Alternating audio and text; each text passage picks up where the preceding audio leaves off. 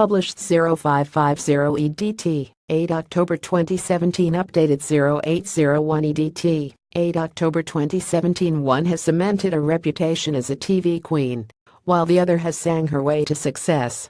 And Amanda Holden and Frankie Bridge look undeniably cool in flirty new snaps from Asda's Tickled Pink campaign.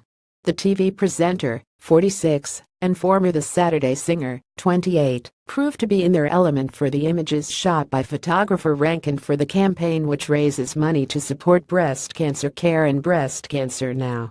Scroll down for video Think Pink Amanda Holden, 46, looks to be loving life as she runs her hand through her blonde locks as she giggles for Asda's Tickled Pink campaign sensational Frankie is also undeniably striking in the campaign snap which sees her place both her hands on her hips as she looks to the side. Amanda looks to be loving life in the image which sees her ran her hand through her blonde locks as she giggles while looking up.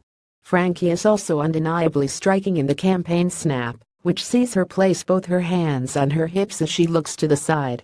Clad in a black top with a pink breast cancer ribbon, the beauty is also joined by upcoming model Anaïs. Striking Anaïs Gallagher, the daughter of Oasis rocker Noel, teams her top with a pair of jeans as she gives the camera a wink work at American actress and model Carmen also looks pleased to be part of the campaign as she the camera coquettish glance the daughter of Oasis legend Noel Gallagher teams her top with a pair of jeans as she gives the camera a wink. American actress and model Carmen also looks pleased to be part of the campaign as she the camera coquettish glance. Donna Air goes for a more casual vibe as she places her hands on her derriere. Stunning Donna Air goes for a more casual vibe as she places her hands on her derriere glam striking brunette looks ultra core as she makes a statement by placing her hand behind her head Cecilia Chancellor and Jackie Ritchie are also part of the campaign which helps raise funds to support people diagnosed with breast cancer and helping to progress life-saving breast cancer research.